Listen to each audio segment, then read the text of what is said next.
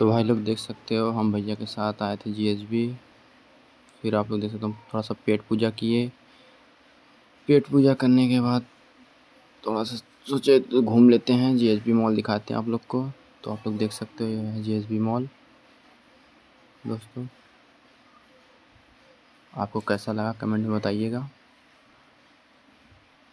और देख सकते हो, दोस्तों आप लोग देख ही सकते हो, और यहाँ पे काफ़ी ब्रांडेड स्टोर अवेलेबल है यहाँ पे, आप लोग देख ही सकते हो।